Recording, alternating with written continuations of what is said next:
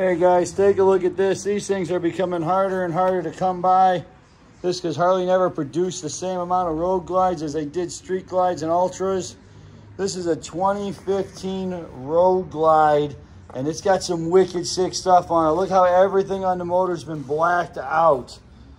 Looks like something you'd see on like a night train.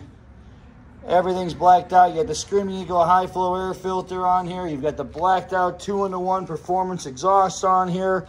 Guys, this paint is beautiful for black. There's not a scratch, nick on this thing. Seats in beautiful condition. Got the four-point docking hardware on the back.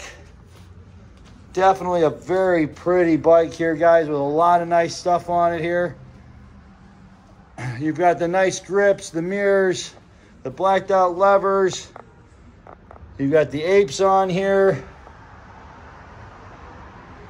It does still have the Bluetooth stereo. You can always get these GPS ones like that are on the S models and put them in. They're a plug and play. They're a couple hundred bucks usually used on Facebook if you want to have that different stereo versus this. Still has ABS on here. 26,000 miles. You've got the highway pegs. But take a look at this, guys. That's a Roland Sands rim on the front, 21 inch with matching rotor. She is just a real, real pretty bike.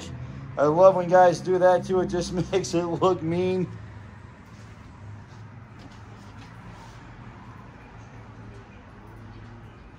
Guys, if you're looking for a great road glide at an unbelievable price with a ton of blacked out stuff done on it, guys, this is definitely the bike to look at.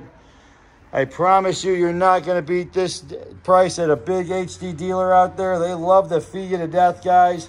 Come on down here to Chicago Cycles and Motorsports, where we treat you like family and keep the money in your pocket, not theirs. Give us a call today, 708 397 5151.